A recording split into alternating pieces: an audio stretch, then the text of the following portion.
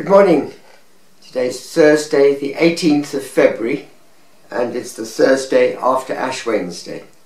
In the name of the Father, and of the Son, and of the Holy Spirit. Amen. Prompt our actions with your inspiration, we pray, O Lord, and further them with your constant help, that all we do may always begin from you, and by you be brought to completion. Through our Lord Jesus Christ, your Son, who lives and reigns with you in the unity of the Holy Spirit, God for ever and ever. Amen. First reading is from the book of Deuteronomy. Moses said to the people, See, today I set before you life and prosperity, death and disaster. If you obey the commandments of the Lord your God that I enjoin on you today, if you love the Lord your God and follow his ways, if you keep his commandments, his laws, his customs, you will live and increase, and the Lord your God will bless you in the land which you are entering to make your own. but if your heart strays, if you refuse to listen, if you let yourself be drawn into worshipping other gods and serving them, I tell you today, you will most certainly perish. You will not live long in the land you are crossing the Jordan to enter and possess. I call heaven and earth to witness against you today.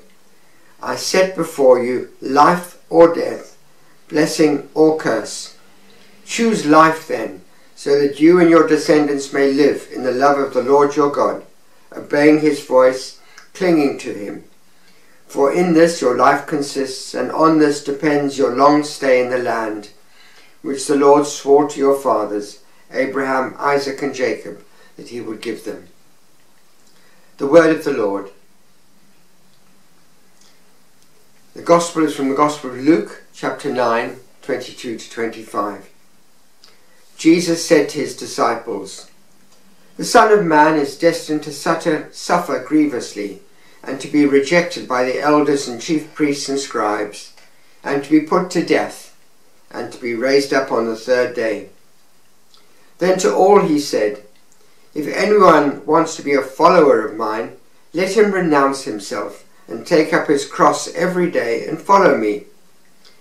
For anyone who wants to save his life will lose it, but anyone who loses his life for my sake, that man will save it.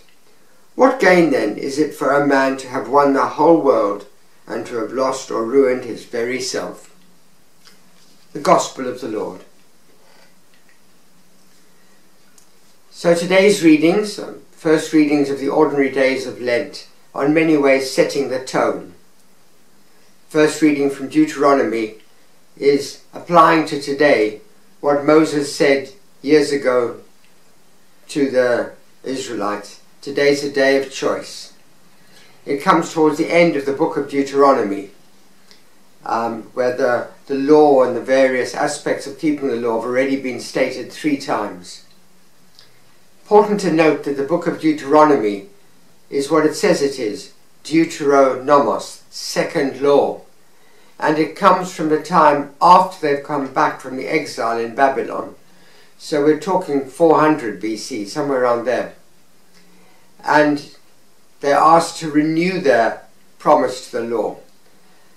So all the threats about I won't let you keep the land. They've already lost the land and come back to it. They've already been had an exile. And so, in a sense, they're hearing there might be another exile if you don't keep the law. And there is also what's often quite quite controversial about the book of Deuteronomy. If you keep commandments, everything will go right and you'll be prosperous. Um, it's known as the gospel of prosperity. And certainly the authors of the book of Deuteronomy are saying that yes, you will be living according to God's law and He will be with you. But it's too far to go to say everything will be a success and everything will go right if you keep all the laws. It's because so often the obverse that's sometimes imposed on people is so damaging to them. Oh, something bad's happened to you, therefore it means you didn't keep the law, you weren't following the teachings of Moses or the teachings of Jesus. And that's, that's, that's a bad move, that's wrong. The gospel, as Jesus is saying, to the disciples, perhaps first of three times in the Gospels, that the end of the story is passion, death, and resurrection in Jerusalem. It's not going to end well the way you want it. Yes, I am the Messiah, but not the Messiah that's going to drive, drive out the Romans. And then he goes on to say, not to the disciples, but to all those listening, you must renounce yourself and take up your cross daily and follow my, my leadership. And then you will find peace and find your place in the kingdom of heaven. Notice we, this gospel is written much later, and that phrase, to take up your cross, could only really mean, make much sense after the death and resurrection of Jesus. Before that, before they even knew that people he was going to die on the cross, it, they would have said, well, what's happening? What's he saying? For us, it means accepting the sufferings that come in our lives, and for all of us, sufferings come in one way or another. We don't need to go out and look for them. On the other hand, we do need to not avoid them. They're part of life. They're part of the human condition.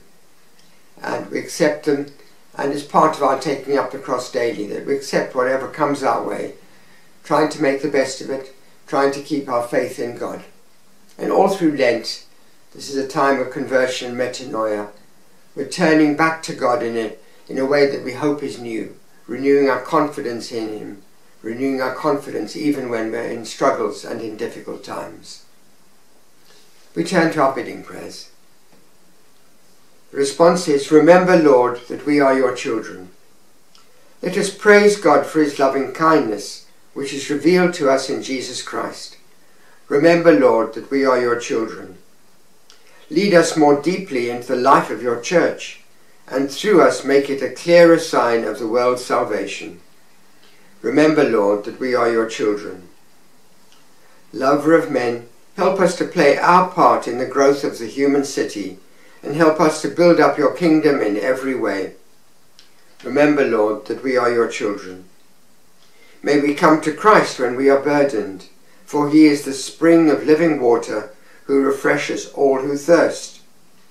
Remember, Lord, that we are your children. Forgive the harm that we have done.